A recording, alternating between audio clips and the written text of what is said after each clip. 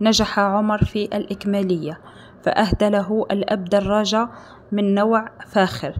فلما خرج ليلعب بها مع أصدقائه شعر بالخزي وشعر أصدقاؤه أن هذه الدراجة لا تصلح في وقتنا الحالي وإنها قديمة جدا. فذهب عمر إلى الأب قائلا ويبكي أبي لقد استهزأ بي أصدقائي وقالوا أن هذه الدراجة لا تساوي شيئا في وقتنا الحالي وإنها قديمة جدا.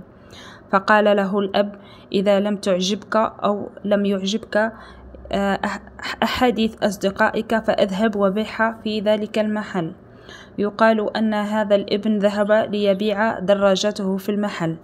بقي حوالي ساعتين أو ثلاثة وهو يبيع هذه الدراجة. يقال أنه لم يأتي أحدا إلى ذلك المحل أو حتى يعني تقدم لي ليعرف كيف سعر هذه الدراجة.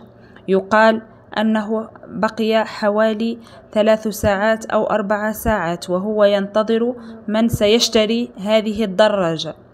يقال أن عمر بقي صامدا للحظة حتى غادر المحل.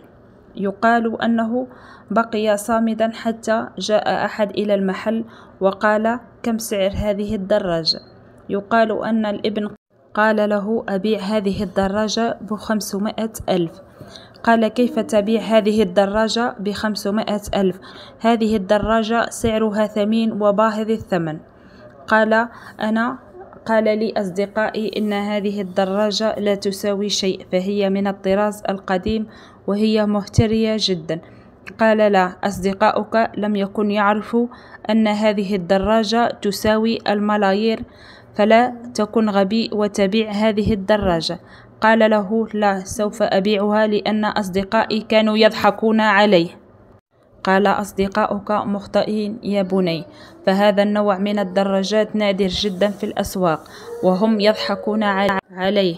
قال لا تبعها يا ابني هذا النوع من الدراجات هو المتبقي في العالم وهذا النوع هو أغلى وأثمن يعني قال له يا بني إذا أردت أن تبيعها فأنا سأشتريها بمئة مليون دولار. قال له حاضر أنا سأبيعها. فباع هذه الدراجة